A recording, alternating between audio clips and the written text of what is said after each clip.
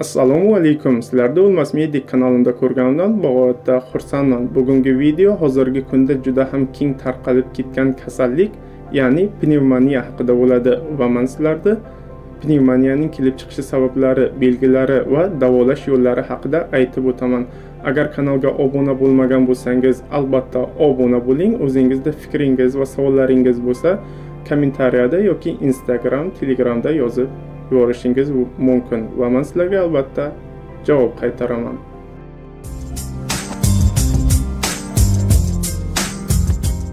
Pnevmoniya kasalligi bu nima? Pnevmoniya kasalligi oddiy qilib aytganda o'pkaning yallig'lanishi kasalligi deb tushuniladi.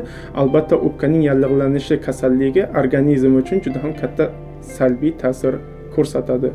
Pnevmoniya kasalligi hamma yoshdagi insonlarda uchrashi mumkin. Statistika bo'yicha ko'pincha yosh bolalar va yoshi katta insonlar pnevmoniya kasalligi bilan ko'proq aziyat chekishadi. Ya'ni oddiy qilib aytganda ikki uch yoshgacha bo'lgan yosh bolalarda va oltmish oltmish besh yoshdan katta insonlarda pnevmoniya kasalligi ko'proq kuzatiladi.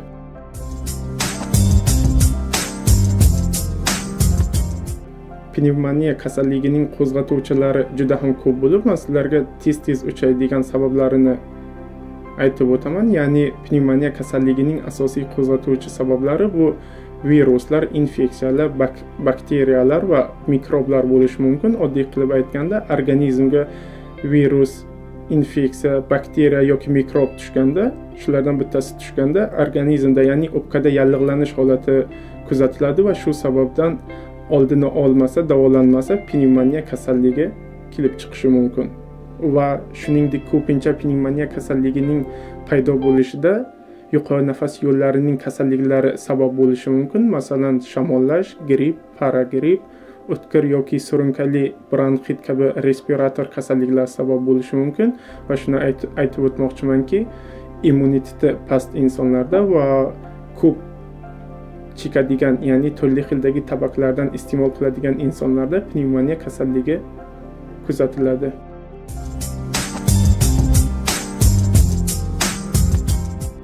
Sizlarga tushunarli bo'lishi uchun o'pka haqida qisqacha ma'lumot berib o'taman. O'pka bu nima? O'pka bu ko'krak qafasining o'ng va chap tomonida joylashgan organ bo'lib organizmimizning hamma organlariga va to'qimalariga toza havo ya'ni kislorodni yetkazib beradi va organizmdan kerakmas havo ishlatib bo'lgan havoni ya'ni gaz moddasini chiqarib yuboradi. Oddiy qilib aytganda nafas olgan paytimiz organizmimizga ya'ni o'pkaga toza havo kiradi. Nafas chiqargan paytimiz organizmimizdan ya'ni o'pkadan ishlatib bo'lingan gaz moddasi chiqib ketadi. Og'iz yoki burundan nafas olganda kislorod ya'ni toza havo traxeya orqali ikkiga bo'lingan bronxlarga boradi va u yerdan bronxiola bronx shoxchalariga tarqalib alveolalarga kiradi. Alveolalarga именно alveolalarda kislorod va gaz almashinuvi ro'y beradi. Nafas olgan paytimiz toza havo qon tarkibiga kirib tanamizning hamma organlariga to'qimalariga tarqalib ketadi va nafas chiqargan paytimiz organizmimizdan ishlatib bo'lingan havo ya'ni kerakmas havo gaz moddasi chiqib ketadi. Va shuni aytib o'tmoqchimanki alveolalar bu o'zining shingiliga o'xshagan narsa.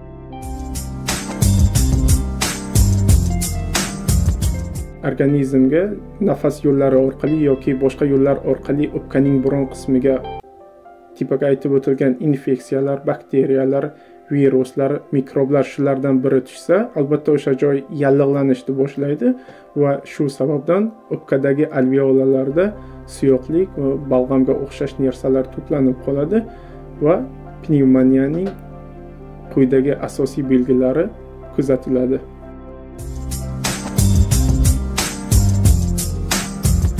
Pnevmoniyaning asosiy belgilariga quyidagilar kiradi. Birinchidan yo'tal yo'tal quruq yoki nam bo'lishi mumkin. Albatta boshlang'ich davrida quruq yo'tal kuzatiladi keyinchalik nam yo'tal kuzatiladi. Ikkinchidan tana haroratining ko'tarilishi. Tana haroratining ko'tarilishi o'ttiz yetti gradusdan yoki o'ttiz yetti ikki gradusdan o'ttiz to'qqiz gradus yoki o'ttiz to'qqiz besh gradusgacha bo'lishi mumkin.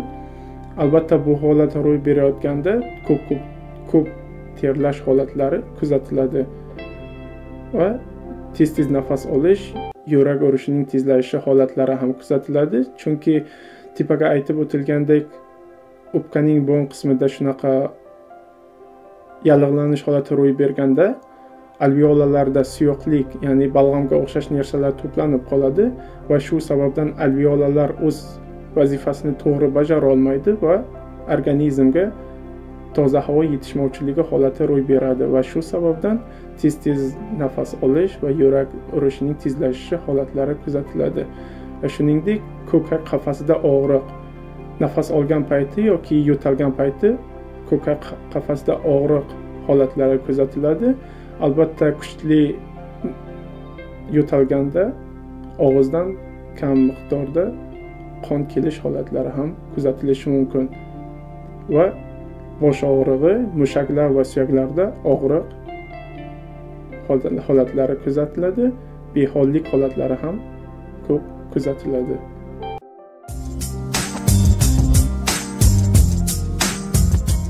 Shunaqa holat ro'y bersa ya'ni tana haroratining ko'tarilishi yo'tal ko'krak qafasida og'riq nafas olishning tezlashishi yurakning tez tez urishi yoki behollik shunaqa hollar ro'y bersa yoki ro'y berayotgan bo'lsa vaqtni o'tkazmasdan vrachga murojaat qilib vrach maslahatini olishingiz shart va zarur.